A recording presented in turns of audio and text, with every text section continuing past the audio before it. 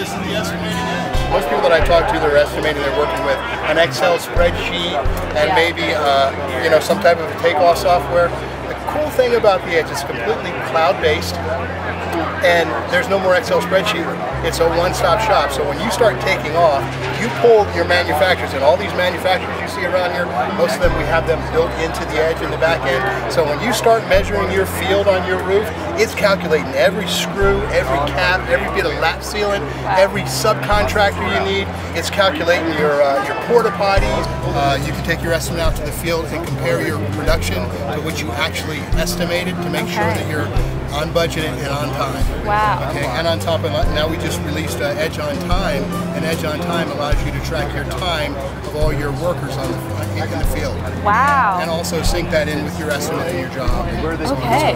Oh my gosh. Oh, did I mention it will talk to your accounting software as well? Oh my gosh, really? Wow.